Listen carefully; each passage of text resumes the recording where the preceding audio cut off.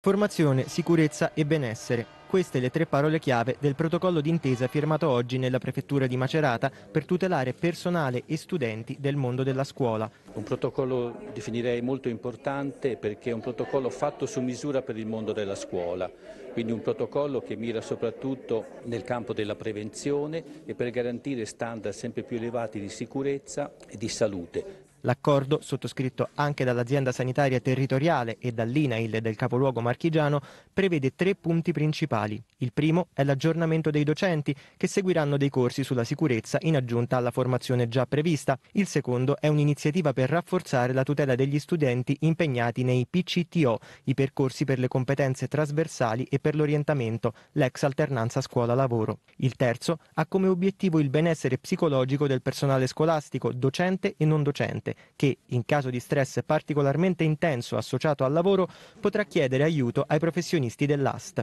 Formare giovani studenti eh, ad una sensibilità alla sicurezza vuol dire formare giovani lavoratori che un domani si troveranno nei luoghi di lavoro e vedranno la loro sicurezza preservata. In futuro il protocollo potrebbe essere replicato anche in altre realtà territoriali, un passo importante, secondo l'INAIL, perché il rischio sul lavoro nella scuola non è inferiore a quello che si riscontra nel mondo delle imprese.